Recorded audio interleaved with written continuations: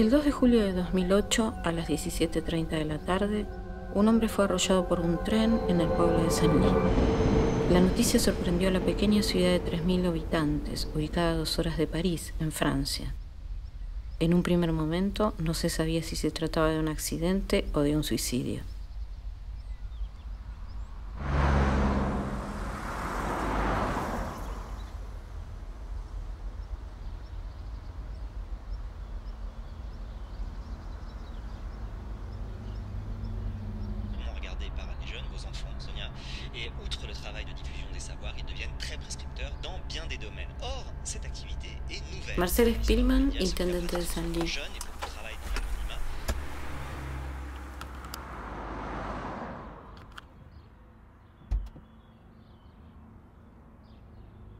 Qu'est-ce que vous pouvez nous raconter sur où que on a, trouvé le monsieur Jean-Michel? Alors, l'en- l'endroit exact au, au mètre près, je ne pourrais pas vous le dire, mais c'est environ 700-800 mètres plus loin sur la voie. Il ne faut pas dire qu'il était gay, qu'il était. Mais. En plus de ça, avec ses soucis familiaux, donc. Vous savez, les gens qui, qui, à un moment donné, perdent pied, euh, je pense qu'ils ne cherchent pas à savoir s'ils sont près de leur famille ou pas de leur famille. hein. C'est un, un moment où ils se déterminent, de toute façon. Donc, euh, C'est celui dont vous parlez, c'est Monsieur Laurent. Mais vous le connaissez? Ben, je le connaissais parce qu'il habitait dans le lotissement euh, voisin à côté. Et qu'est-ce que vous connaissez? Qu'est-ce que vous savez? Qu'est-ce que vous vous rappelez de lui? Ben, suite à une, séparation, c'était quelqu'un d'assez fragile. Et suite à une séparation, il n'a pas supporté et, puis il a mis fin à ses jours.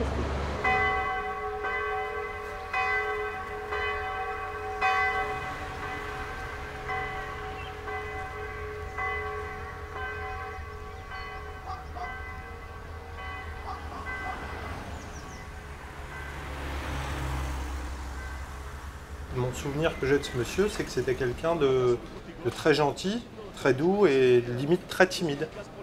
Voilà, tout simplement. Et après, bah, par coïncidence, comme il habitait dans cette commune-là, la première année que j'ai acheté ici, il est venu me voir en me demandant est-ce que je continuais à faire des dîners dansants comme dans mon affaire précédente? Et je lui ai dit non, je suis désolé, là maintenant c'est un bar tabac, je ne fais plus ça. Et il avait l'air un peu euh, attristé. Voilà, tout simplement. Ici, il y avait peut-être d'autres personnes qui connaissaient, mais moi je me rappelle simplement du fait divers. Voilà. Euh, la personne par elle-même euh, me disait rien. Je l'ai peut-être déjà rencontré ici, hein, mais euh, son nom me disait rien. Lo que se sabe es poco. El hombre se llamaba Jean-Michel. Tenía 53 años, era padre de tres niños y estaba separado. Hacía poco se había reincorporado a su trabajo por una baja por depresión, aunque algunos lo describían como un hombre bromista y jovial, al que le gustaba bailar y hacer bricolage. Esa mañana salió de su casa y nunca llegó a su trabajo. Vous savez que lui travaillait à France Télécom Oui, oui, je, oui, je, je- je savais, mais euh, moi je ne ferais pas le rapport de la, la cause à effet, vous savez. Euh, France Télécom, c'est une chose. Après, ses raisons professionnelles, enfin, ses raisons privées, c'en est une autre. hein. Là, il ne faut pas faire d'amalgame, je pense pas. hein. Celui-là, c'est la maison de Monsieur Laurent? Oui, trois, quatre maisons plus loin, oui. Ouais. La maison qui est euh, pentue, là. Je sais pas, vous savez, on ne sait pas ce qui se passe dans les couples. Hein Si, il était en dépression. Oui, oui, il est soi-disant qu'il était en dépression. Parece más fácil pensar que se trató del desenlace trágico de una ruptura amorosa, pero algo sugiere otra interpretación. Cerca de su cuerpo, como si lo hubiese estado sosteniendo hasta el último momento, encontraron su teléfono. Una llamada había llegado demasiado tarde, o no había sido suficiente.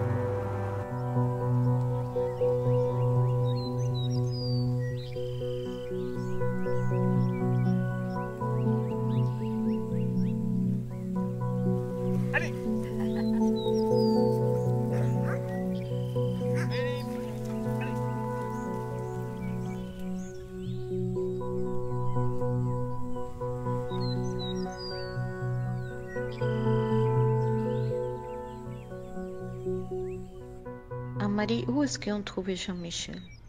Alors c'était, euh, oui, c'était vers Saint-Lié. Attendez que je me remémore. euh, c'était euh, Euh, alors, c'était près des, des, des, euh, des voies de chemin de fer. Alors, par contre, c'était euh, c'était Horace Campagne. hein, parce Alors, que- c'est- c'est- c'est- c'était Horace Campagne. Oui, pour parce ce que lui, su. il était parti. euh, Parce que tu l'as pas dit par le fait. Il, Non, il était. non, non, non, parce que je, moi je suis tombée quand, quand emmené les, les équipes de, de tour. Là, c'est- on, entre nous, là. On entre nous, ça. ça... là, oui, je tourne là. Ah oui, mince, c'est pas Vous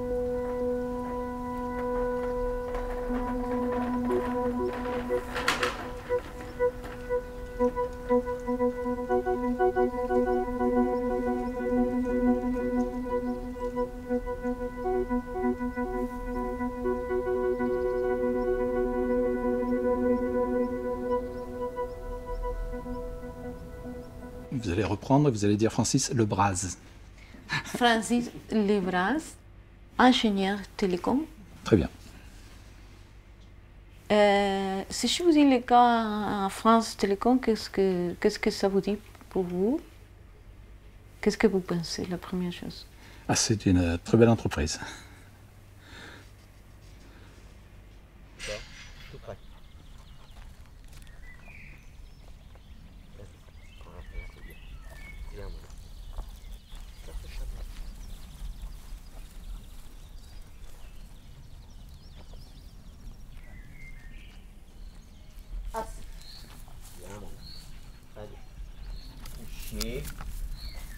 Tu restes.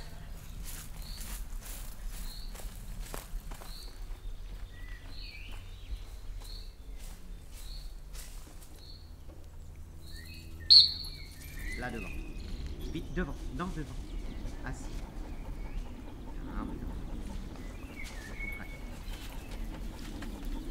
Comment était la vie avant de la tragédie? La vie était euh, très intéressante parce que presque familiale.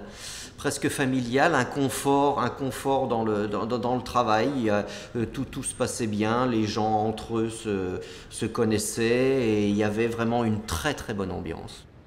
Comment avez-vous vécu votre appartenance à France Télécom? Ah, alors ça, si vous voulez, ça, ça date quand même depuis, euh, depuis très longtemps, euh, parce que mon père travaillait euh, justement à France Télécom, euh, et j'ai découvert cette, cette entreprise quand j'étais gamin. C'est quoi euh, ces photos, Francis? Cette photo, je l'ai prise euh, le 11 septembre 2009, au moment où, euh, quelques instants après que Stéphanie se soit jetée par la fenêtre que l'on voit ici. J'étais à mon bureau, je discutais avec des collègues, et j'ai vu quelque chose tomber. Euh, au début, j'ai cru que c'était euh, un oiseau, enfin je ne savais pas ce que c'était. Et on s'est tous précipités à la fenêtre et on a vu que c'était une personne qui s'était jetée. On, a, on s'est partagé les tâches. Il y a deux personnes qui ont été immédiatement euh, la voir euh, en bas. Elle a demandé une couverture parce qu'elle avait froid. C'était ses derniers mots.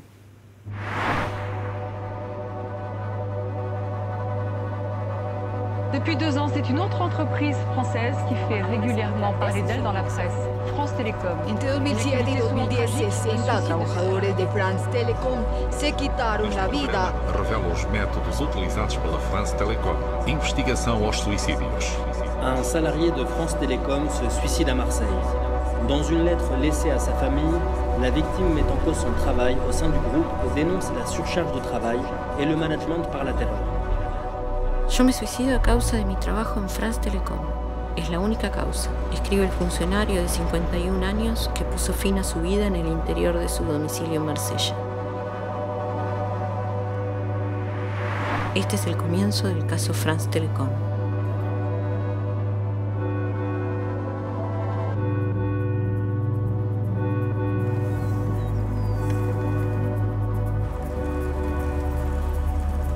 La historia puede comenzar en muchos lugares y tener muchos principios.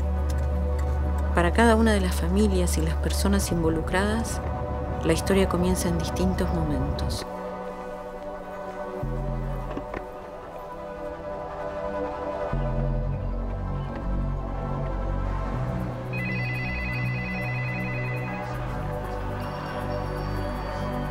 Pero para mí, comienza acá en la habitación de mi papá, en 1990.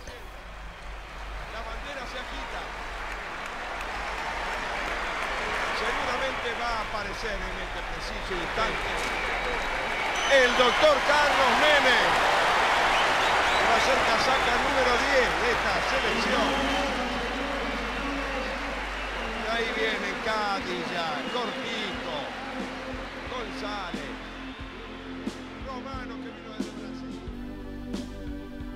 Es difícil hablar de mi familia en la crisis de los 90, porque no teníamos plata para comprar una cámara. De haberla tenido, seguramente los videos se hubiesen visto así.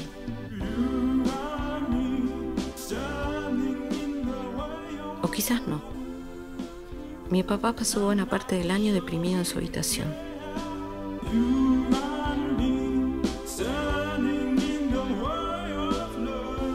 Cuando 10 años después leo sobre los suicidios en France Telecom, algo resuena.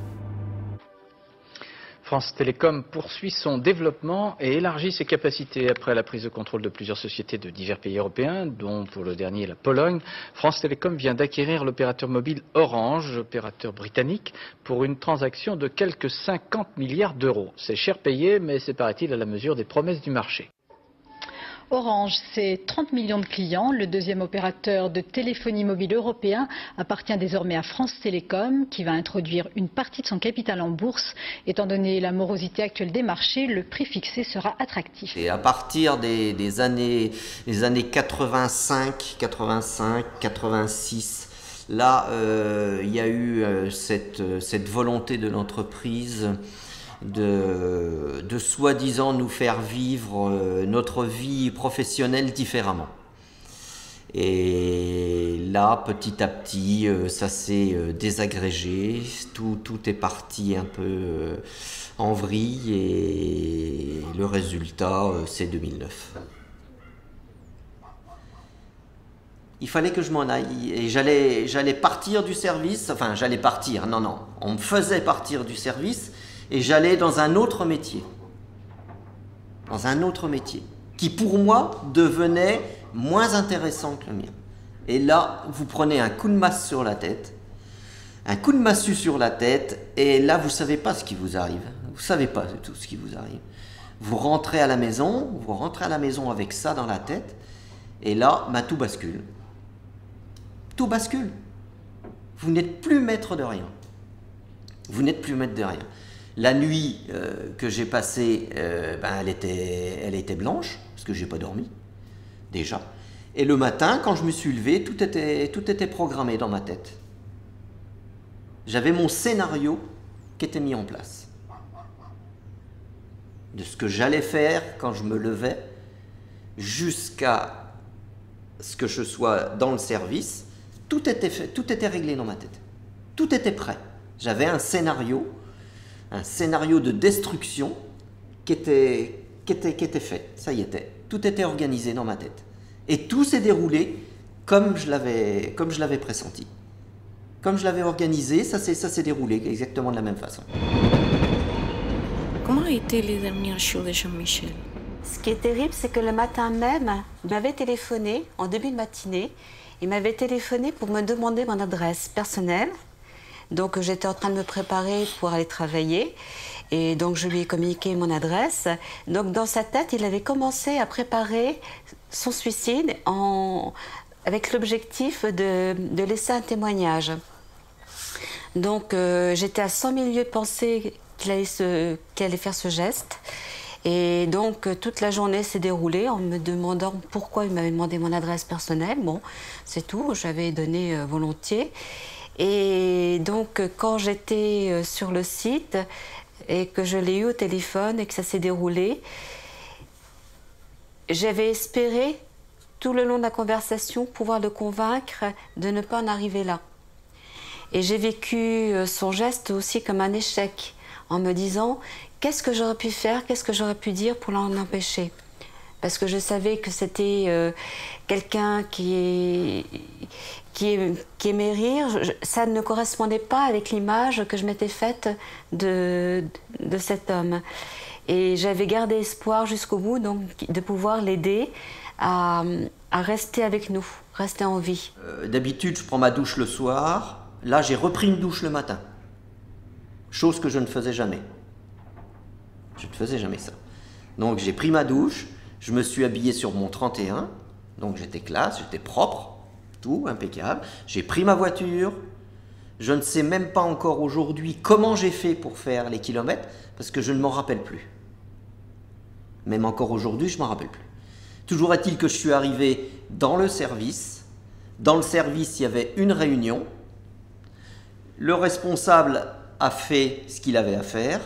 Et moi, après, lui, après lui, son intervention, moi j'ai pris la parole. J'ai pris la parole. Je leur ai dit que j'étais pas d'accord, que c'est ci, que ça, que j'allais et que malheureusement ils allaient être témoins, que je m'en excusais, mais qu'ils allaient, allaient être témoins de la décision que j'avais prise la nuit. Et là, j'ai sorti mon couteau et je me suis planté le couteau dans le ventre.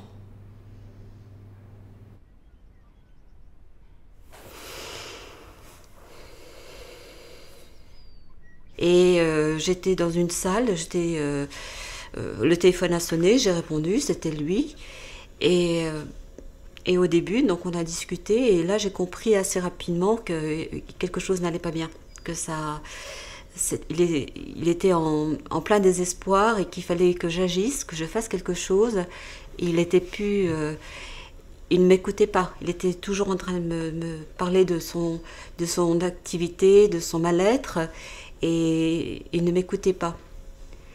Et il était, le fait qu'il soit perdu comme ça, en race campagne dans une voiture, sans savoir où il était, lui-même il ne savait pas où il était. Il était dans un secteur qui pouvait me décrire vaguement, mais il ne savait pas exactement où il était.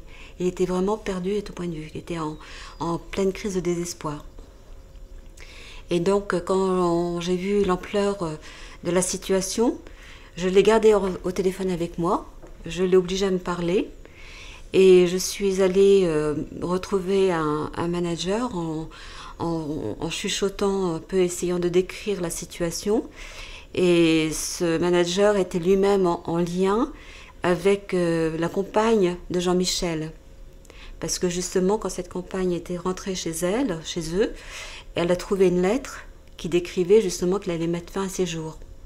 Et euh, donc, euh, j'ai demandé à, ce cadre de vite appeler le, DRH, qui avait pouvoir, euh, quelque part, de prendre une décision et agir au plus vite.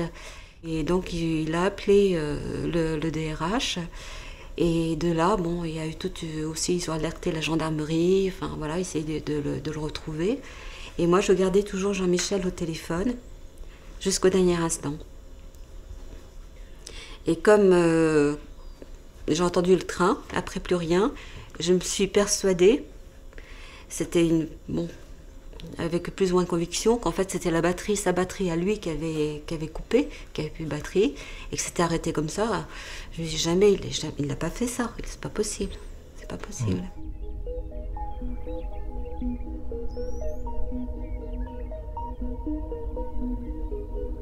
A las 8.45 de la mañana del 28 de septiembre de 2009, Jean-Paul Ronet, 51 años, casado, padre de dos hijos de 12 y 8 años, empleado de France Telecom en Annecy-Louviers, de camino al trabajo estaciona su vehículo en el viaducto de Albi-sur-Giron y se arroja al vacío desde una altura de 100 metros.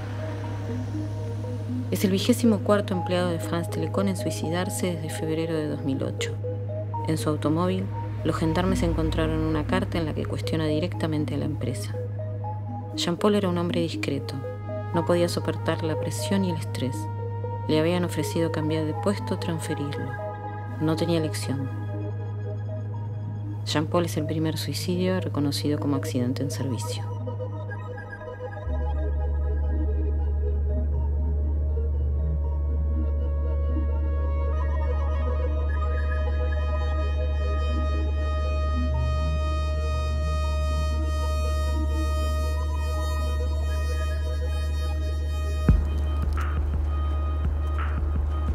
Querida Sandra, Preferiría hacer la entrevista en un bar en las afueras de la ciudad. Espero que pueda entenderlo.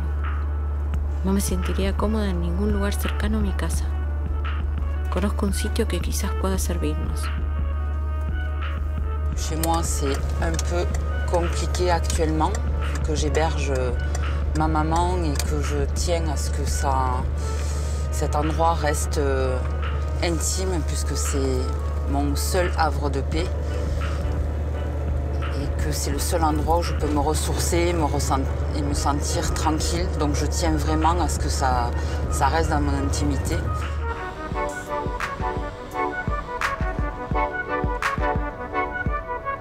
Euh, Daniel, comment vous voudriez que je vous présente comme sociologue euh, ou, quoi? Donc, je suis sociologue du travail. Oui. Euh, directrice de recherche émérite au CNRS. Et je fais partie d'un laboratoire qui s'appelle GTM Crespa, ou sociologue du travail, tout simplement, comme vous voulez. Oh, sociologue du travail Ok. Comment est-ce que je peux te présenter Stéphanie Valette? Quoi? Tu es un ex-employé de France Télécom? Je suis ex-salarié de France Télécom. J'ai eu la chance de m'en sortir. Un de ceux qui m'a le plus touché, c'est le, cas de, mon collègue de, de Bordeaux qui s'est immolé.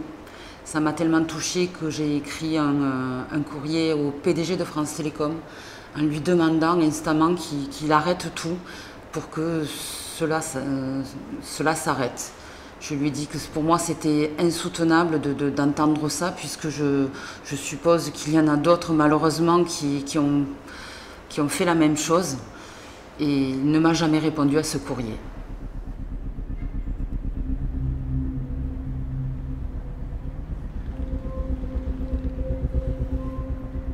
Comment est-ce que vous voulez que je vous présente? Euh... Votre nom, votre activité, votre... Bah, en fait, dans le cadre du documentaire, c'est nom, prénom et euh, le, le, fait que je sois le, le, fils de mon père qui travaillait à France Télécom, enfin le fils d'une personne qui travaillait à France Télécom. Enfin, vous avez besoin qu'on décrive ma situation ou, ou c'est juste dans la relation que... Alors, je pourrais dire que votre nom, mm -hmm. et je ne sais pas, je ne voudrais pas me tromper avec la prononciation. La oui. Alors, vous pouvez me dire tout. Mm -hmm. Je m'appelle Raphaël Louvradou, j'ai 29 ans et euh, je suis le fils de Rémi Louvradou qui a travaillé pendant des années à France Télécom et euh, qui s'est, euh, il y a maintenant 7 ans, qui s'est suicidé en s'immolant par le feu sur le parking d'un de ses lieux de travail.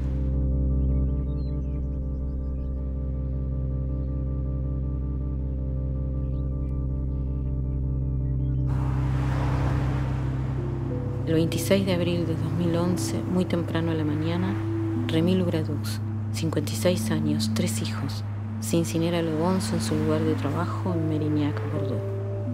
Era experto en seguridad y sistemas y había escrito unos años antes una larga carta a France Telecom denunciando las situaciones de acoso moral y de estrés que se vivían en el interior de la empresa.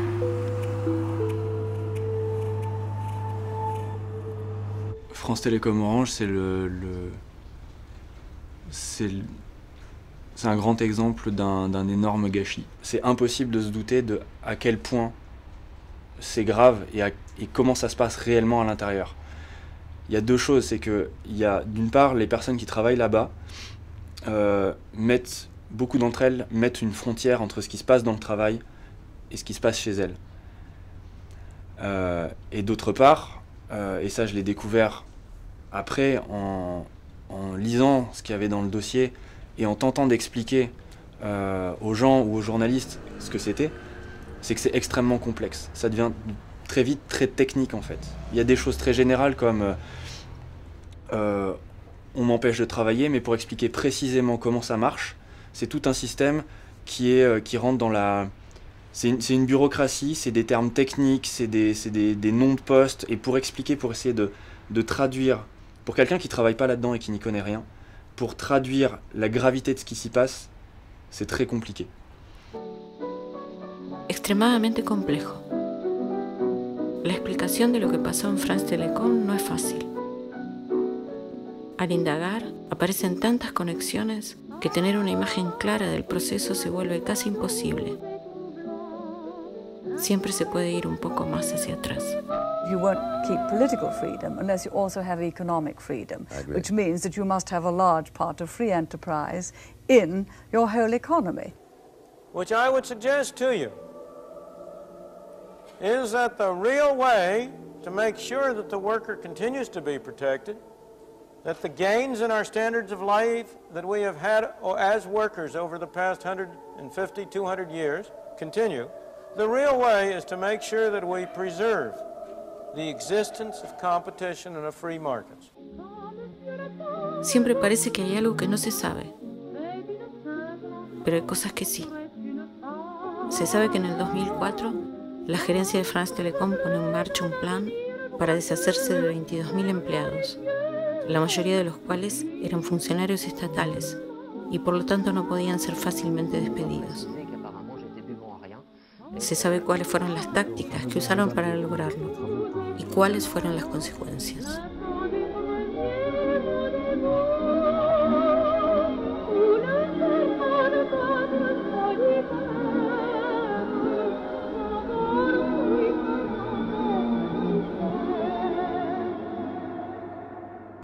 Il y avait des agents qui étaient des techniciens, de ce qu'on appelle des lignards. Ils intervenaient sur des, lignes, des poteaux. euh, et du, du jour au lendemain, on leur a dit, bah, écoutez, non, là, on restreint les services. euh, Maintenant, bah, vous allez vendre du téléphone, des forfaits euh, avec des casques sur les oreilles.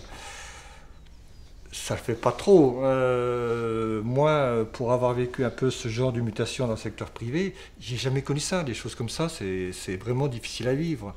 Surtout pour des personnes qui avaient choisi un statut de, de, fonctionnaire. Donc pour faire un métier, service public, la notion de service public, ça parlait, ça parle toujours.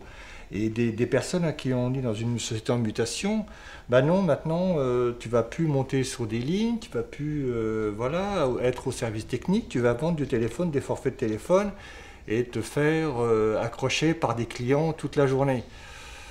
Il y a des gens qui se supportent plus effectivement.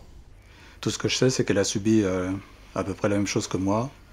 C'est-à-dire que on l'a changé de poste plusieurs fois et quand on lit sa lettre, euh, on voit bien que son suicide est entièrement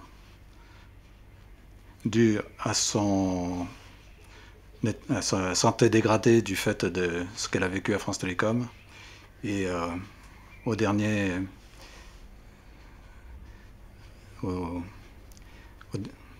la façon dont elle a été traitée les, derniers jours, où on l'a changé de, nou- de nouveau de poste et où on lui redonnait un, un poste sous la direction d'un directeur qu'elle ne- qu'elle avait quitté euh, avec fracas quelques, mois auparavant. Et ça passe par des petites choses, des choses, euh, des choses très pratiques, comme le fait d'isoler des gens dans des pièces sans lumière ou sans fenêtre, ou euh, le fait de pousser le chauffage à fond ou au contraire de couper la climatisation. Ça passe aussi par des méthodes d'organisation du travail, donc on prend quelqu'un et on lui enlève tous ses moyens de travail, ou on lui enlève toutes ses missions, il n'a plus rien à faire, jusqu'à ce qu'il craque, ou inversement, on lui donne trop de travail par rapport à ce qu'il peut faire, jusqu'à ce qu'il craque. Et euh, ça, dans le cas de mon père, par exemple, euh, nous, il y a des choses dont on ne pouvait pas se douter, et c'est la police qui nous l'a appris, puisque après euh, son suicide, quand ils ont été sur son lieu de travail pour saisir toutes ses affaires et les verser à la procédure, euh, ils ont constaté deux choses notamment qui eux-mêmes les ont surpris. C'est que d'une part, euh, il n'avait pas d'armoire, il était au milieu d'un open space et il n'avait pas d'armoire pour ranger ses dossiers, alors qu'il avait un certain niveau de responsabilité, beaucoup de, de, dossiers à traiter, et dont des dossiers qui euh, bah, devraient être rangés quelque part et pas être accessibles à tout le monde. Et euh, le comble, c'est quand même, et c'est ce qui les a choqués principalement, c'est ce qui nous a amené à, ce qui les a amenés à nous le dire. on est quand même chez un opérateur téléphonique. Mon père euh, travaillait dans, dans la qualité et euh, il n'avait pas de téléphone. Stéphanie Valette est salariée de France Télécom. Elle a saisi le tribunal contre son employeur au motif de discrimination, harcèlement moral et résiliation judiciaire de contrat de travail. Elle a décidé de rendre public aujourd'hui devant la presse ce qu'elle estime être un calvaire. On l'écoute au micro de Mouad El Yakabi. Moi là j'essaye de, de résister justement, de combattre pour, pour, éviter, pour éviter tout ça. Il faut que tout ça s'arrête de toute façon à France Télécom et ailleurs. Les, collègues, pour moi, étaient terrorisés, ne voulaient, pas, euh, ne voulaient pas prendre conscience de tout ce qui se passait. Quand je leur euh, expliquais ce dont moi j'avais connaissance, tous ces drames, tout ce qui se passait, ils ne voulaient pas, ils voulaient pas en entendre parler puisqu'ils se disaient que eux, pour l'instant, n'étaient pas touchés. Et du coup, euh, moi, tout ce que je leur disais, ça leur faisait peur. Et donc, ils ne m'écoutaient pas. Et en plus, France Télécom discréditait tout ce que je pouvais leur dire.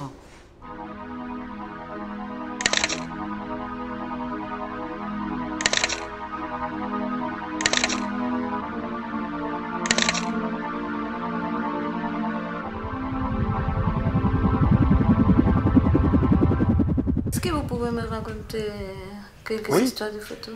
Ben avant, avant les ressources humaines, j'étais à l'armée, j'étais officier dans l'armée belge. Et avant d'être officier, ben j'ai fait euh, quatre années d'école royale militaire, qui est l'école qui forme les officiers. Alors ici, il y a environ 200 personnes. C'est les 200 euh, élèves de ma promotion. Euh, moi, je, suis, je dois être là. Et c'est une tenue de cérémonie et on avait donc tous un casque avec des plumes d'autruche. Et elles sont toutes blanches, sauf un qui est en rouge. Alors les plumes d'autruche blanches, c'est pour les non-officiers et rouge, c'est pour les officiers. Là, on n'était pas encore officier, donc on avait les plumes d'autruche blanches. Ça change pas grand-chose, mais... Et vous aimez ces écoles À quatre, quatre, années à l'école militaire, oui, c'était super. C'était euh, intellectuellement très intéressant. Et puis, euh, et puis c'est une, une, excellente école, on y apprend des tas de choses. Euh, donc les, les, quatre années à l'école militaire, oui. Ensuite, c'est un peu moins bien. Ensuite, c'est c'est toujours des choses rigolotes. Hein. C'est faire du faire monter sur escalader des montagnes, descendre en rappel. Ici aussi, là, je pense, vu la tête que je fais, je pense que j'étais en train de me faire engueuler. Mais bon, c'est des choses qui arrivent. Euh, Didier Ville, ex-tourage de euh, grande entreprise. Ben, Aujourd'hui, le, le, d'abord, le, lexique de guerre euh, est utilisé en entreprise depuis très longtemps on parle des concurrents comme des ennemis, on parle de, guerre économique, on parle de, de part de marché, mais on parle également de terrain à reconquérir. Donc cette, transformation de, du, de l'univers de l'entreprise comme une, espèce d'univers guerrier où c'est nous ou eux, euh, c'est nous qui allons y passer, c'est nous qui allons mourir ou c'est les autres, ça fait déjà longtemps c'est dans l'entreprise, mais ça implique aussi de, dans la guerre, il y a des victimes. Il y a des victimes innocentes. Il y a des copains qui sont plus là. Euh, ça prépare aussi les, les, esprits, ce vocabulaire guerrier, à d'autres choses. Et cette autre chose auquel le, vocabulaire guerrier prépare, c'est effectivement que malheureusement, il y aura probablement chez nous des gens qui vont disparaître, des gens qui vont souffrir, mais c'est normal puisque c'est la guerre. Euh, alors, ce type de management, euh, il est aujourd'hui de plus en plus répandu, en France en tout cas. Euh, toutes les statistiques le montrent, les burn-out sont en hausse, les dépressions sont en hausse, le suicide sur le lieu de travail est en hausse, les licenciements pour motifs personnels sont en hausse, tandis que les licenciements économiques, qui coûtent beaucoup, moins, beaucoup plus cher, sont en baisse. donc il y a un vrai courant en France pour avoir recours à ce type de méthode. Ça n'est pas ça n'est pas que France Télécom. France Télécom a peut-être, sans doute, été beaucoup plus loin que les autres, ce qui fait qu'il y a eu beaucoup plus de suicides. Euh, mais France Télécom n'est pas la seule entreprise à recourir à ces méthodes. Qu'est-ce que c'est placardiser La placardisation. Euh, c'est quand on, euh, quand on ne veut, quand, on, quand une entreprise décide qu'il n'a plus besoin de quelqu'un, mais qu'il ne veut pas le licencier. Il arrête de lui donner du travail. Il le met, dans un bureau euh, à l'écart des autres salariés pour qu'il n'ait plus d'interaction avec les autres salariés. Et éventuellement, il y a des bureaux. On lui fait le bureau le plus petit possible, on appelle ça un placard. Du jour au lendemain, euh, mes collègues ont eu ordre de ne plus euh, parler avec moi, prendre la pause avec moi, manger avec moi. Ce qui fait que du jour au lendemain, je me suis retrouvée toute seule à manger, tous les midis, alors que jusqu'à présent, je partageais le repas avec eux. De suite, j'ai compris qu'eux n'avaient pas la force de s'opposer. Voilà, et je travaillais quand même à l'époque dans une boutique, dans un service commercial. Donc je savais euh, communiquer avec les gens. Donc du jour au lendemain, se retrouver seul, c'est très compliqué. Il y a quelque, peut avoir quelques rapports avec de la politique de pression psychologique, de torture psychologique de dur sexe, parce que vous avez été, été dans l'armée. il y a des similitudes. Il y a des, il y a des ressemblances. On met la pression, on prépare les gens. À l'armée, on ne va pas dire préparer, on va dire conditionner les gens. Ah, dans une entreprise, on va préparer. Dans une entreprise, l'expression que j'utilisais, moi, c'est mettre une petite graine. C'est-à-dire dire à quelqu'un euh, eh, Ça va ton travail? T'es sûr que ça va? Pas de problème avec ta hiérarchie? Pour qu'il commence à réfléchir. Ah, peut-être qu'il y a un problème. Peut-être que je commence à réfléchir. Pour que, lorsqu'il est en face de moi au licenciement, entre guillemets, je puisse lui dire Mais on t'avait prévenu, tu le savais, on en avait déjà un peu parlé. si tu n'as pas compris, ben, c'est ta faute, hein, c'est pas la mienne. Donc oui, euh, la, préparation psychologique, elle est là. Euh, toutes les méthodes qu'on utilise pour qu'il n'y ait pas de trop de bruit, qu'il n'y ait pas de cris, que ça aille très vite euh, aussi. C'est aussi utilisé à l'armée. Les, Américains ont, appelé une de leurs offensives en Irak terreur et effroi. C'est-à-dire, il faut paralyser les gens par la peur. Comme ça, ils, vont faire, comme ça, ils ne savent plus se défendre. C'est utilisé en entreprise. Pas bien entendu avec la même, on n'utilise pas d'armes en entreprise, mais terroriser les gens au moment de leur licenciement pour qu'ils ne réagissent pas, oui, on le fait en entreprise. On n'appelle pas ça comme ça, on n'appelle pas ça de la torture, on n'appelle pas ça de la pression, mais c'est la même philosophie. C'est faire peur pour que la personne ne réagisse pas. En la noche del 10 de agosto de 2009, Nicolás de Grenoville, 28 años, se ahorca en el interior de su casa en Besançon con un cable de teléfono vestido con su ropa de trabajo. Es el vigésimo suicidio de France Telecom, a donde había entrado en 2005 orgulloso de su puesto como técnico de centrales telefónicas. Nicolás tenía un gato, un departamento nuevo y un amor con un vecino que se estaba terminando. La empresa le echó la culpa de su suicidio a su fragilidad emocional. Pero Nicolás dejó varias cartas y en una de ellas culpa claramente a France Telecom por su malestar. Días antes había alertado al trabajador social y al médico del trabajo. El seguro consideró su muerte como producto de una enfermedad profesional.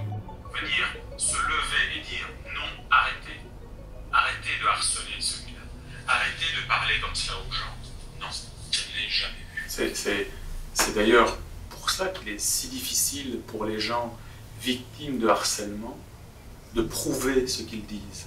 Parce que il n'y a pas de témoins, il n'y a pas de gens, même, qui vont accepter de faire un témoignage pour dire euh, oui, j'ai été témoin de telle chose. Donc c'est la personne toute seule qui se plaint, ou bien souvent qui ne se plaint pas, qui se dit c'est pas la peine que je me plaigne, je serai toute seule, ce sera ma parole contre celui de mon manager, je n'ai aucune chance.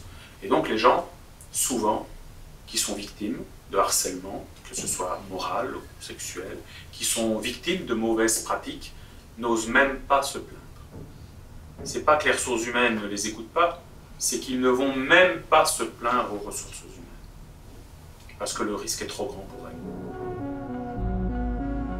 Didier Martin, ingeniero de 48 años, se suicida colgándose en su domicilio en Lannion.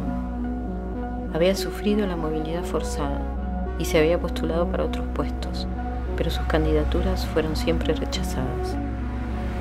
Luego de una licencia por enfermedad, le quitan sus vacaciones y le disminuyen su sueldo. En su domicilio, la policía encuentra una carta donde dice, la culpa de todo esto viene de mi trabajo, y de cómo nos han dejado librados a nosotros mismos. Fue el cuarto suicidio en el año en la región que había sido particularmente golpeada por la reestructuración en la empresa. Didier era un hombre muy querido en su trabajo. Miles de compañeros marcharon en su funeral en señal de protesta. J'ai une grave dépression. J'ai grossi de 30 kilos.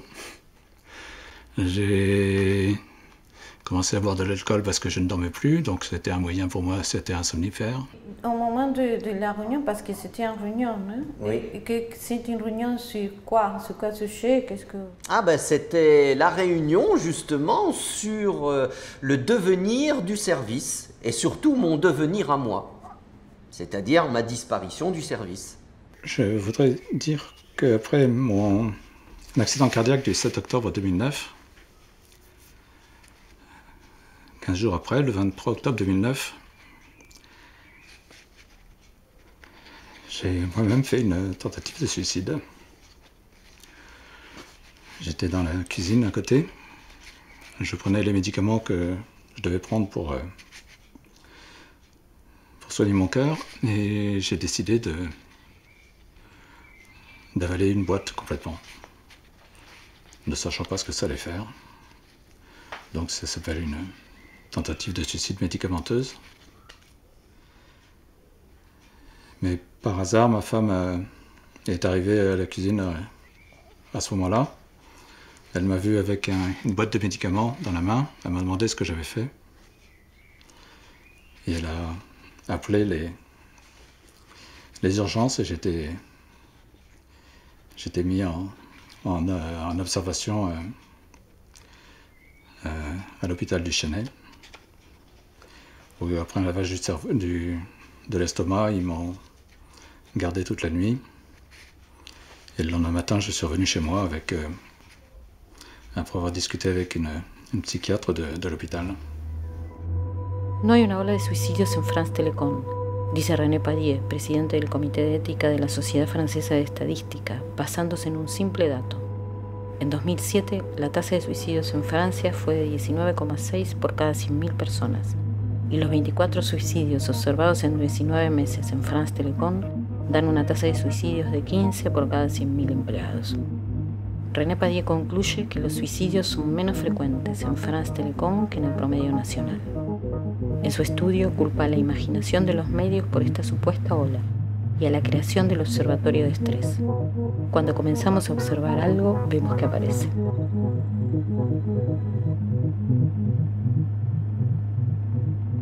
Beaucoup n'étaient pas dépressifs. Enfin, la, majorité des gens, euh, et on le voit ailleurs aussi, ne sont pas dépressifs. C'est des gens qui sont pris dans une espèce de spirale infernale où euh, toute leur, euh, comment dire, leur confiance en eux, le- l'estime de soi, l'image de soi est complètement altérée, attaquée par la hiérarchie et surtout euh, ils ne sont pas soutenus par leurs collègues, par leurs pairs.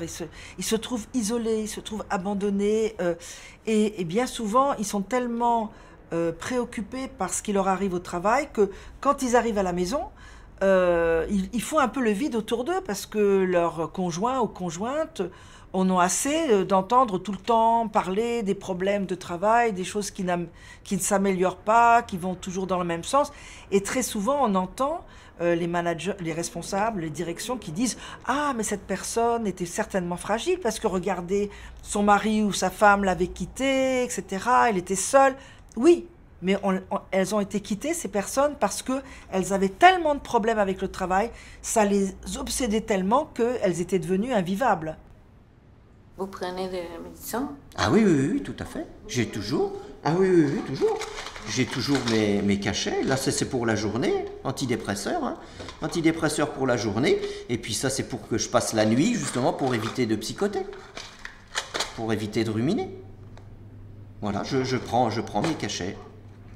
Alors, avec le psychiatre, on essaye justement de, de réduire ces médicaments. Mais celui-là qui est à la, la- la journée, celui-là, je vais le garder encore pendant un certain temps. Et l'autre, je ne comprends pas, c'est pourquoi? C'est pour la nuit, celui-là. Ça, c'est un médicament pour la nuit, euh, pour justement euh, vous, vous, vous reposer l'esprit. Ça vous repose l'esprit, c'est-à-dire que vous êtes, vous êtes plus serein dans votre sommeil. Et celui-là, c'est pour la journée. Antidépresseur pour la journée. Ça, c'est ma vie. C'est ma vie depuis 2009. Ça doit faire 15 jours, 3 semaines que mon mari se lève le matin à 7h30 du matin, 7h30, 8h. Ça fait 15 jours seulement. Parce que justement, euh, les traitements sont un petit peu baissés et on attend de voir un petit peu si, si ça tient ou si ça tient pas. Donc depuis 2009, je vous dis, ça fait 15 jours qu'il retravaille avec moi le matin. Donc euh, il y a eu des gros dégâts. Et heureusement, heureusement que moi, mon travail consiste à travailler à domicile, parce que sinon, je ne sais pas. Je sais pas comment, je sais pas comment font les, les autres. Euh, heureusement que j'étais là. J'aurais travaillé en usine, ou j'aurais perdu mon boulot, ou j'aurais perdu mon mari. Mais c'était pas possible autrement. Voilà.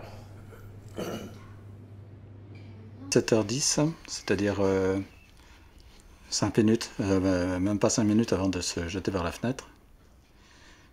Euh, bonsoir papa. Lorsque je t'ai téléphoné ce matin, tu m'as dit que ça n'avait pas l'air d'aller. Tu as raison, mes pulsions suicidaires me reprennent. J'ai décidé de passer à l'acte ce soir. Il est inutile de prévenir le propriétaire pour qu'il vienne me voir, car je vais mettre fin à mes jours au bureau. Mon chef n'est bien sûr pas prévenu, mais je serai la 23e salariée à me suicider. En effet, je n'accepte pas la nouvelle réorganisation du service. Je change de chef, et pour avoir ce que je vais avoir, je préfère encore mourir. Je laisse mon sac à main avec portable et clé à mon bureau. Je n'emmène avec moi que ma carte de donneur d'organes. On ne sait jamais. Sinon, à part ça, n'oublie pas d'aller chez moi récupérer Zébulon et Frimousse pour leur donner à manger. Ce sont ces chats. Je regrette que tu à recevoir ce genre de message, mais je suis plus que perdu. Je t'aime, papa. Signé Stéphanie. Le trafic était complètement interrompu vendredi matin depuis 8h10 sur la ligne du RER A entre les stations Nation et Charles de Gaulle et ne devrait pas reprendre avant 10h30. El viernes 17 de enero de 2014, un accidente paralizó durante varias horas el metro A de París.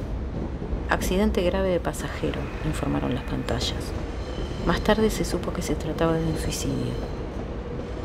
Nicolas Foucher, 42 años, consejero de clientes de una oficina de Orange Telecom en Poncelat, París, era muy apreciado por sus colegas y se había quejado repetidamente sobre el acoso y humillación por parte de su gerente. Le había contado su terrible experiencia a su familia y denunciado su situación a sus superiores. En sus mails menciona algunos de sus padecimientos. Humillaciones, bullying, celos, comunicación imposible, vigilancia permanente. El día de su suicidio tenía que presentarse en su nuevo lugar de trabajo en una oficina en Les Halles. El cambio lo hacía sentir degradado. De camino al trabajo, se arroja a las vías del tren en la estación Aubert de París. Je pense d'une part que euh, France Télécom, c'était des amateurs. Donc ils ont, ils ont, ils ont joué les apprentis sorciers euh, et, ils ont trop fait confiance aux managers pour appliquer les méthodes dures. Et certains managers ont été beaucoup trop loin. Donc c'est ça, c'était des amateurs. Ils ne se sont pas rendus compte qu'ils jouaient avec le feu. Euh, dans une entreprise américaine, ça ne se passerait pas. Elles sont beaucoup plus prudentes. Chez France Télécom, on a retrouvé des documents comme ceux-ci dans une entreprise américaine, aujourd'hui, vous ne trouvez plus ces documents.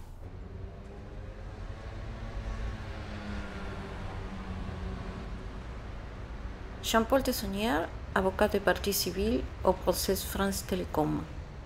Si, là, ils n'ont pas su appliquer euh, cette politique de harcèlement moral, je me demande ce qui se serait passé s'ils avaient su l'appliquer. Encore une fois, le, plan est, est établi d'une façon cynique et froide par les dirigeants de l'entreprise. Il est intégralement appliqué euh, dans, dans, le cadre d'une... Il y a une espèce de structuration quasiment militaire, finalement. C'est, un plan de guerre, finalement. Ce que, ce que fait l'entreprise, c'est déclarer la guerre au personnel ils déclarent la guerre, ils vont mener cette guerre, ils vont la gagner d'une façon terrible. Donc euh, là, je, ne comprends pas l'idée que euh, on aurait eu affaire à des amateurs qui n'auraient pas bien contrôlé les choses et qui auraient improvisé euh, au fur et à mesure. J'ai le sentiment, au contraire, qu'on a décliné un plan qui était tout à fait, tout à fait cohérent et tout à fait organisé au niveau de l'entreprise.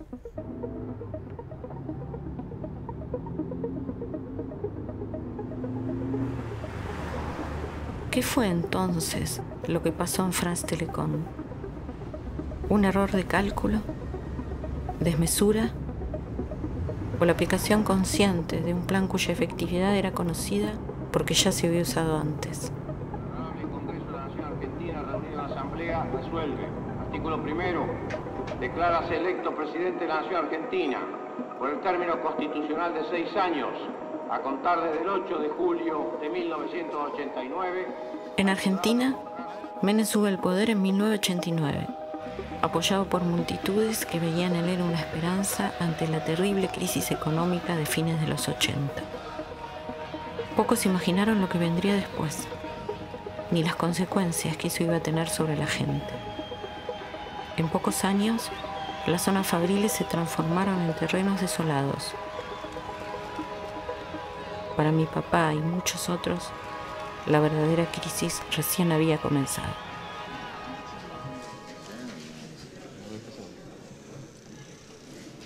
Señoras, señores, constituye un motivo de orgullo para el presidente de los argentinos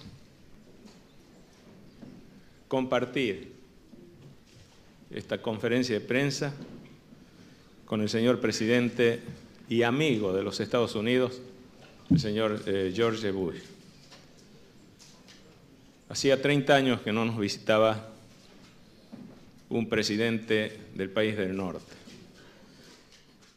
In these days of free economies, uh, President Menem has taken the lead in privatization and in many other areas.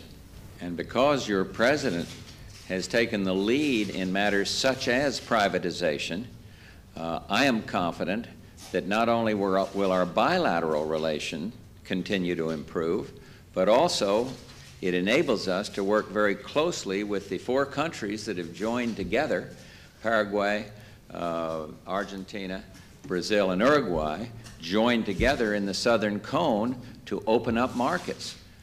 And, and lastly, because of the steps President Menem has courageously taken. Uh, I think that will lead to a happy ending, happy solution to the overall foreign debt problem that Argentina faces. The private banks, seeing these moves towards privatization and open markets, will be much more inclined to work bilaterally uh, with, uh, with uh, President Menem and Argentine to bring debt relief, needed debt relief, uh, to the Argentinian economy.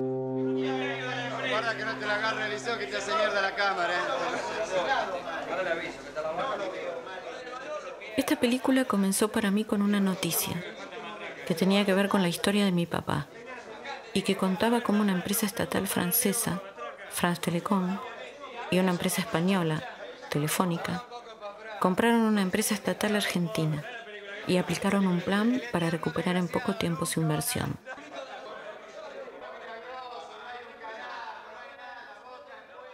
Así, en pocos años se habían desprendido de 28.000 empleados, sin hacer un solo despido.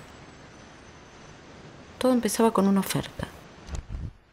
A cambio de que se fueran, les ofrecían una indemnización muchas veces superior a la indicada por la ley. Le decían retiro voluntario. Néstor Quinteros fue uno de los que rechazó la oferta. Sé que tenía diabetes, pero después de que tenía otro trastorno, bueno, después que sabíamos que por la diabetes le habían cortado la pierna y todo eso, hasta que falleció, pero otras cosas no sabíamos. Lo vi a él, que era cliente de acá, vino, compró habitualmente y se fue. No sabía que después le había apuntado una pierna y todo lo demás. Néstor Quinteros vivía en el barrio de Caseros, en los alrededores de Buenos Aires. Tenía una esposa y un hijo. Había trabajado 40 años en la empresa y su caso dio pie a una investigación que se llamó genocidio telefónico. Él iba a ser el protagonista de esta película, pero murió dos meses antes de empezar a filmar. Su mujer enfermó. Su hijo no quiere hablar.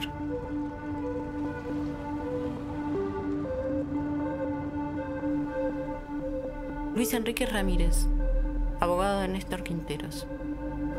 Un delegado de Entel eh, me pide una, una, reunión, me trae a un, a un, compañero de trabajo de él que me dice había tenido un, un este problema grave. Ahí lo conozco. Quintero me cuenta su historia, una historia dramática. Este, había sido víctima de las políticas de la empresa para obtener eh, retiros voluntarios, le decían ellos, y nosotros a partir de ahí los llamamos retiros involuntarios. Este, y había pasado por una serie de depresiones psicológicas fundamentalmente, que lo habían llevado a desarrollar una patología muy grave, había quedado, había quedado hemipléjico, este, y fundamentalmente psicológica y emocionalmente quebrado.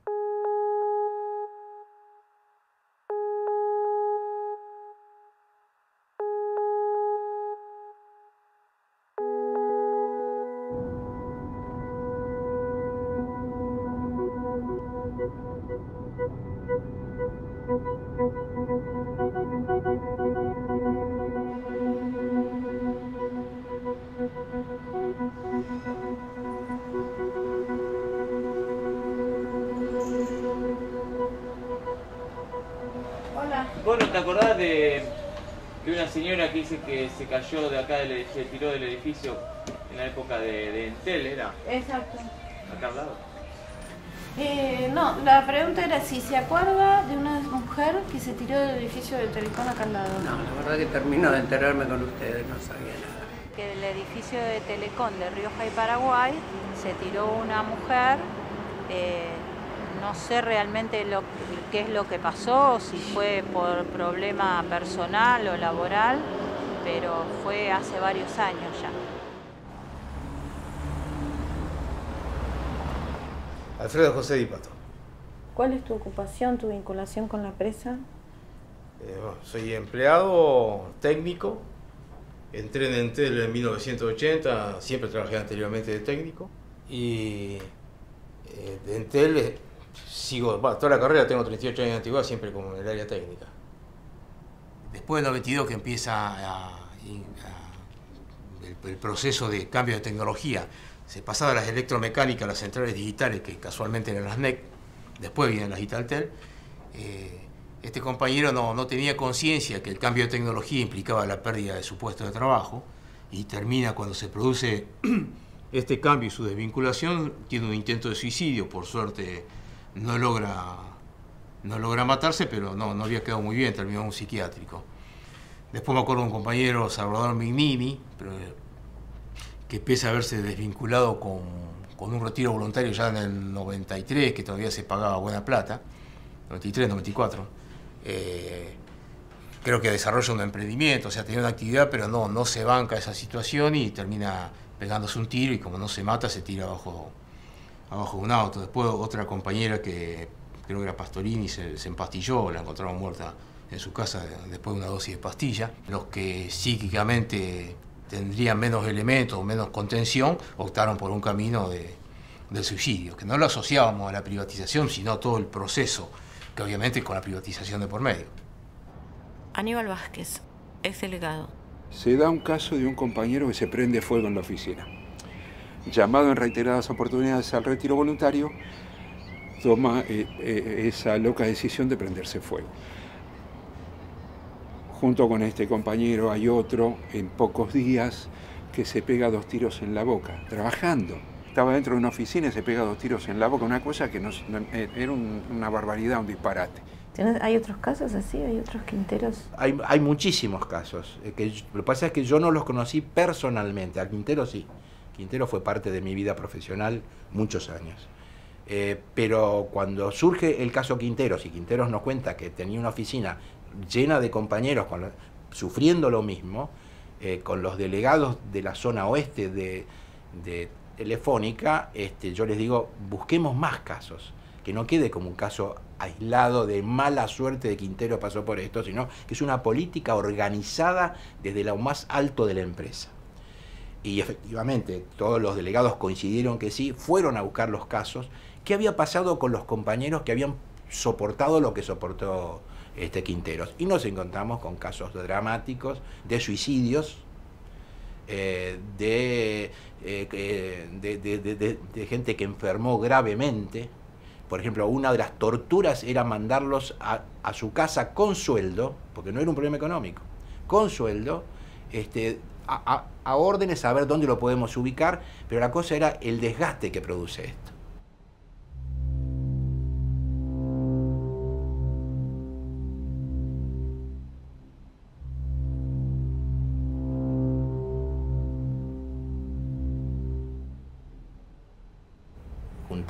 Con nombre y apellido y, oficinas, eh, alrededor de 15 casos. Si lo hubiéramos hecho en el sindicato hubiéramos juntado cientos.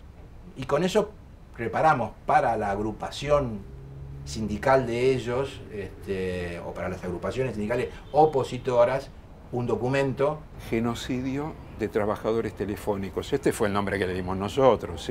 No imaginábamos, no imaginábamos, si bien la idea era esa, era frenarlos, no imaginábamos la consecuencia. Es decir, al día siguiente, vuelta, no me permiten el ingreso a mí en la oficina.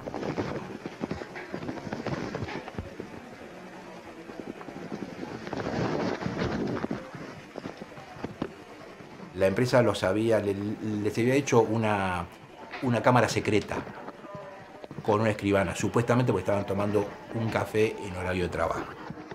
Y este, yo no llevé esa causa, sino lo hizo una abogada penalista, excelente, eh, les inició un, un, habeas corpus diciendo que esas imágenes eh, captadas sin autorización tenían, que, tenían que ser destruidas. Y efectivamente un juzgado laboral ordenó que en presencia del juez se destruya esa, esa filmación y la empresa tuvo que pasar por la humillación de tener que destruirlo. Pero ellos recurrían a esto. Y mientras tanto, mientras pasó eso, esa, esa filmación se la pasaban a otros eh, compañeros diciéndole, digamos, recursos humanos, este, miren lo que hacen estos vagos. Aníbal Vázquez. Aníbal Vázquez era un delegado, uno de los delegados más combativos que yo conocí, eh, muy luchador y por lo tanto eh, yo creo que no hay otro término que puede usar, eh, odiado por recursos humanos, que estaban buscando la oportunidad, cualquier oportunidad para echarlo. Con Aníbal yo tuve que iniciarle tres, cuatro amparos y, recursos y medidas de, este, reinstalación porque, porque cada dos por tres lo despedían a pesar de que él tenía fueros. Tu vivencia personal, que te agarra siendo delegado en ese momento en los 90 durante la privatización, ¿qué, qué te pasó? ¿Qué sentiste? Sentí mucha angustia, sí, en ese momento y me sentí como que impotente. Hubo que recrearse. Eh, lo particular, esto, al menos yo nunca miré la cuestión desde lo particular, desde lo personal. Desde el 90 en adelante, sí, creo que rápidamente em, nos dimos cuenta de que había que recrearnos porque lo que íbamos a enfrentar era algo pesado, algo grande, y para eso no había que tener miedo, eh, porque las consecuencias, ¿qué consecuencias podía haber? No te podían matar, te podían echar de laburo.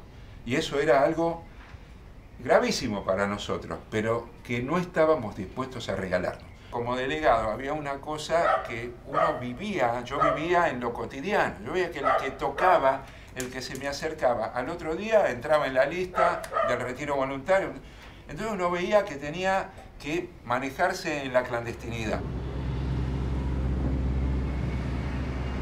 Contame lo de Luis Ateiro. ¿Qué pasó con Ateiro? ¿Lo despidieron? Claro. Ateiro lo despiden. Ateiro, a Horacio Blanco, a Rosario Romeo y a Fabio Russo. Cuatro compañeros, muy cercanos.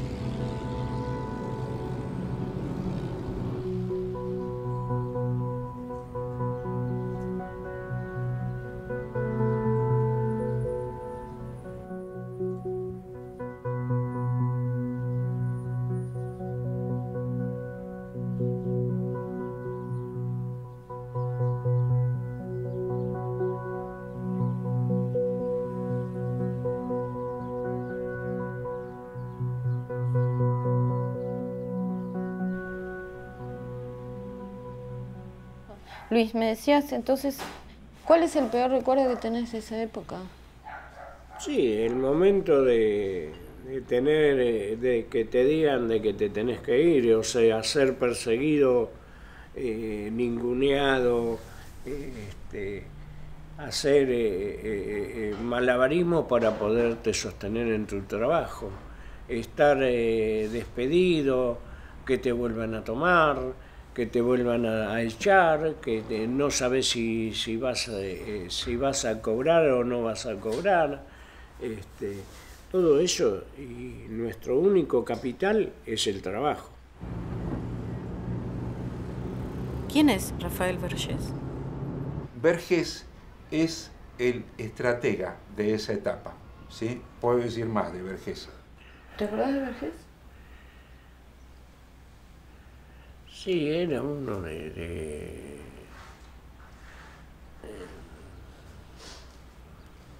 como ese era ah era un era el que nos echaba prácticamente. Verges aparece como alguien que da vuelta lo que son las relaciones gremio y empresa ¿sí? Ese es Verges Verges es un tipo que no tenía contacto con la gente un cuadro empresario importante ¿sí? Con los años desapareció. Su tarea había sido más que eficiente y vaya a saber a dónde lo llevaron. Mi nombre es Rafael Vergés, yo soy el gerente de Desarrollo Organizacional y Recursos Humanos de Banco desde hace ocho años y medio aproximadamente y anteriormente, durante 11 años, fui el director de Recursos Humanos de Telefónica este, entre los años 98 y 2009.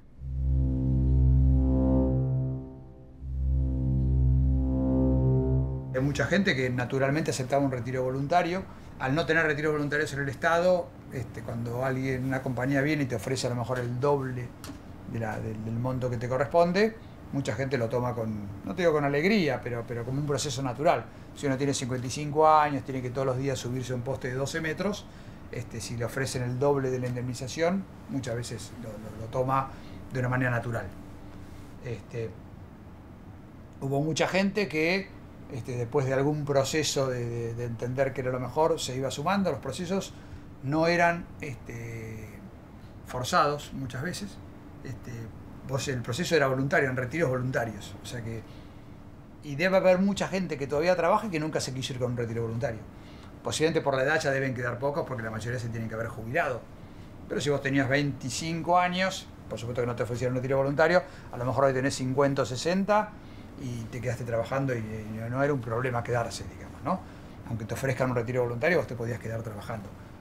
Eso no quiere decir que no hubo este, situaciones de conflicto en ciertos momentos, porque las compañías muchas veces, personas que no querían trabajar o trabajaban mal, las trataban de sacar igual, digamos, ¿no? ¿Conflictos como cuáles? Conflictos sindicales, conflictos con, con los sindicatos para forzar a que las personas que no quisieran trabajar saliesen.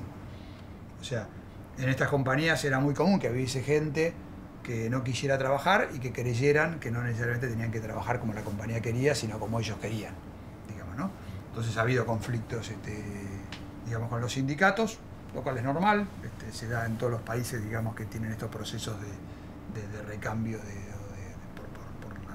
por, las edades o por la baja productividad, y bueno, este, ha habido conflictos este, sindicales, digamos, que recuerdo y que estaban relacionados muchas veces con la productividad, con la cultura del trabajo o con este, la, oportunidad de que ciertas personas saliesen de la compañía porque no cumplían con los requisitos que, tenían que tener, digamos. ¿no? El gremio era cómplice de lo que estaba pasando. ¿Cómo? Era cómplice porque no hacía absolutamente nada y no solo no hacía absolutamente nada, sino que colaboraba en convencer, entre comillas, a los, a los trabajadores que aceptaran lo que la empresa le ofrecía. Y algunos delegados incluso participaban en algún circuito económico, obteniendo ventajas económicas por cada este, trabajador que arrimaban a la empresa para firmar un retiro voluntario. ¿Te ofrecieron algo? ¿Por qué no aceptaste?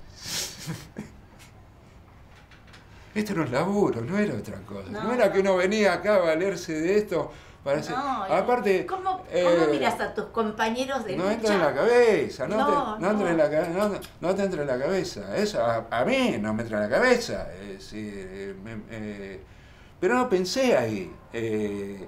lo pensé en, mi vida, en, lo personal, ¿no? Eh, lo que, como le dice Serrat, ¿no? si el espejo como lo que te, lo que te devuelve.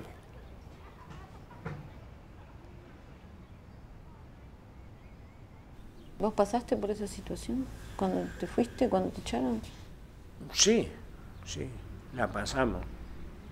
La pasamos de decir, eh, no, que no se le pueda dar un plato de, de, fideo.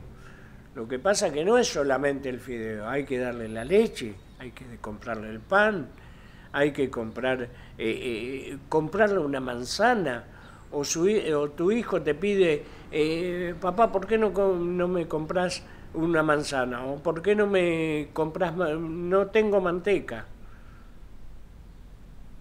o no tengo dulce. ¿Eso sabes lo que te denigra? ¿Sabes lo que es? ¿Saben estos individuos lo que es para un padre decirle a un hijo que no le puede comprar? Que no le puede comprar un caramelo. Pues si le compra un caramelo no le puede comprar el pan. Estos señores saben lo que es no tienen ni idea. Yo los pondría un día, no un mes, un día en las condiciones que quedan los obreros cuando los echan. Eso no entiendo, ¿por qué no, no, no, se podía despedir? No es que no se podía, te generaba un conflicto. No, pues despedir, vos, la ley te lo permite. ¿no? Ahora, si el modelo de retiro fuese voy a despedir mañana a 300 personas, se te generaba un conflicto sindical y te paraban la compañía. Digamos, lo hemos vivido en Argentina en, diferentes plantas, digamos, ¿no? Entonces la mejor manera de amortiguar estos procesos y que no sean tan agresivos es tratar de llegar a acuerdos que nunca son acuerdos desde el punto de vista de, sí, por supuesto, sacar los que necesites, pero si es un proceso de, bueno, no es lo mismo sacar a una persona de 30 años que sacar a una persona de 62. No le vamos a sacar a una persona de 30 años que a lo mejor le da 5 sueldos, que saca a una persona de 60 años, en donde vos le pagás durante, hasta el momento de la jubilación el 70% o el 80% del sueldo. O sea, casi no le estás quitando este efectivo del bolsillo. 28.000 bajas sin producir un solo despido sin causa. Si había un despido era porque alguien había cometido supuestamente alguna indisciplina y irregularidad, pero sin causa, que es un derecho que había, es decir, despedir, digamos, sin causa, pagar. No habían producido ninguno. Sin embargo, consiguieron este, entre comillas, milagro que en pocos años se habían ido 28.000 de los viejos trabajadores de Entel. Pero las historias de vida de los que tomaron el retiro voluntario eran, ¿cómo los recibían? Es decir, ustedes los deben haber seguido viendo, digo, sí, no, era Realmente una etapa donde el que se iba por retiro voluntario, teóricamente le lavaban el mate, que se iba contento, que iba con plata, que, invertía, que esto, que el otro, y al tiempo eh, llegaban sin nada, pidiendo un rebusque, alguna actividad, porque, eh, como decía un compañero, dice, nosotros no somos palomitas que estamos adentro de una jaula, nos largan el golpe a la, calle y no sabemos qué hacer con la plata. Y pasaba eso, yo no conozco ninguno que le haya ido bien, y te estoy hablando de miles, eh, de unos muchísima gente. No conozco ninguno. Directamente esa plata no les sirvió, quedaron sin trabajo y, bueno, casi sin obra social. No, no fue una experiencia buena, al contrario. Papá, ¿qué sentiste cuando perdiste el trabajo?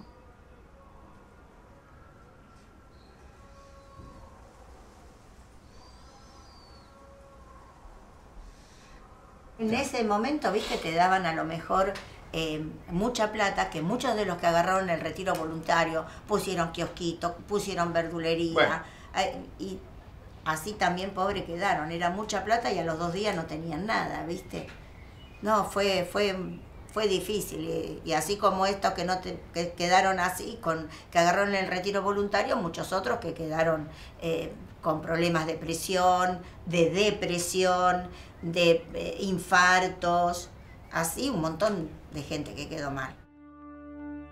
Cuando perdió el trabajo por las mismas políticas por las que se cerraron fábricas y empresas, Mi papá tuvo la suerte y la ayuda suficiente para salir de la depresión en la que había estado sumido.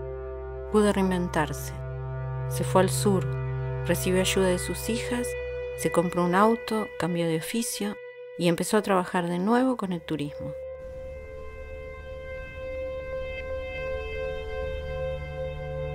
A veces pienso que para mi papá era difícil entender los cambios. Venía de una época en la que el trabajo era algo para toda la vida. Así lo habían entendido sus padres cuando vinieron a Argentina. Este era el lugar donde todo sobraba. ¿Va a trabajar aquí? ¿Eh? ¿Va a trabajar en Argentina? ¿Va a laborar? Sí, ¿De qué? Ah, no, yo que laboro mis trabajos de ¿De qué vas a trabajar? ¿Cómo? ¿Laborar? ¿De qué? Este, todavía no, no, no sabemos, ¿no? Según. ¿Pero qué te gustaría hacer? ¿Qué te piensas? Bueno, eso, ¿cuál es esa cosa? ¿Cuál es esa cosa? Porque es el amor. Después, todo lo que parecía previsible se desvaneció. De los trabajos precarios a la desocupación, de las crisis políticas a la inflación, del saqueo de las corporaciones a la traición de los políticos. Todo fue en declive.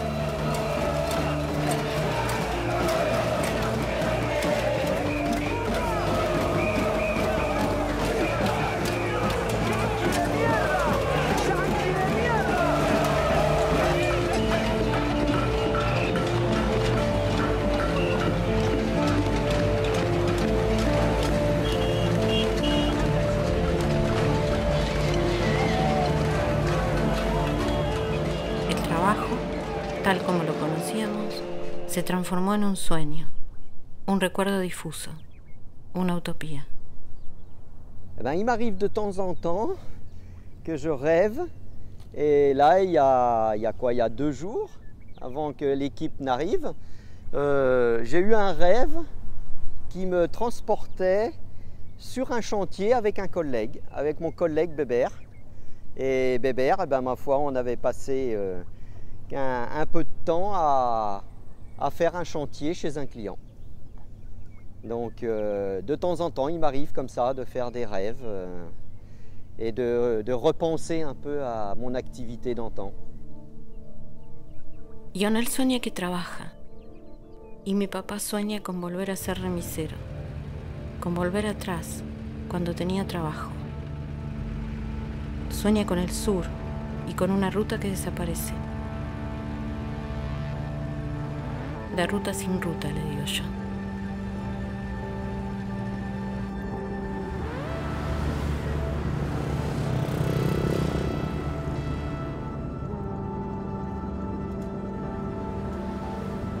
Mientras tanto, los suicidios en Francia fueron creciendo como un escosor oculto y silencioso, como un estallido esporádico y cada vez más frecuente.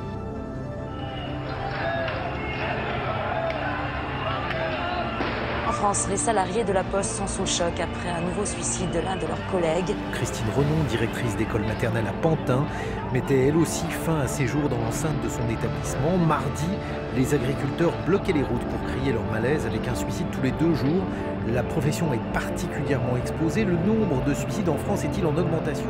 Y ese estallido es como un desgarro, algo que se va rompiendo en un tejido aparentemente compacto.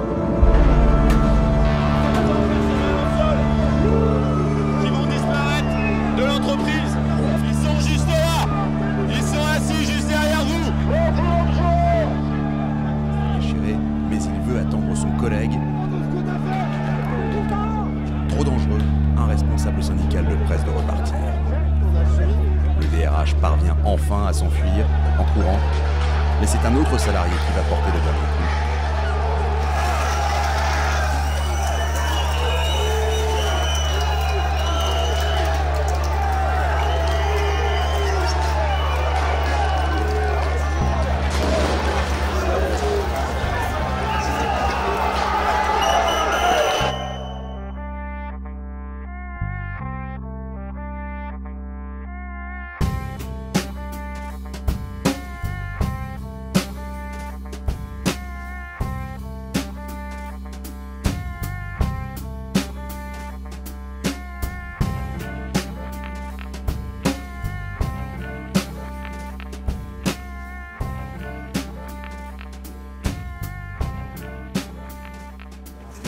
Tant que eux ou d'autres ne sont pas allés en prison pour des actes comme ça, moi personnellement, je ne serai jamais complètement satisfait ni soulagé.